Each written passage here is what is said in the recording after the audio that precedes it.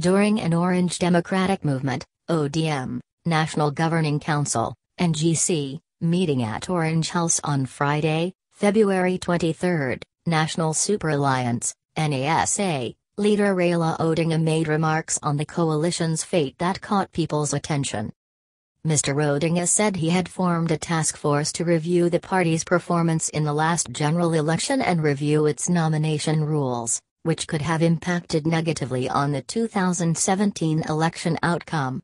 Although he dismissed claims of fallout in the coalition, he was categorical that while his party was ready to work with like minded parties, it was also prepared to go it alone if push came to shove. From the ground up, ODM must be in the battle mode. From the ground up, all ODM leaders and supporters must without fear or apologies erect and fly the flag of justice, fairness and equity as only ODM can. We must be prepared to fight alongside other like-minded parties and individual. But we must also be prepared to fight alone should it come to that, he told attendees. The statement seems to have put NASA affiliate parties Amani National Congress, ANC, Wiper Democratic Movement, WDM, and Ford Kenya in a tight spot as all prepare themselves for the 2022 presidential elections.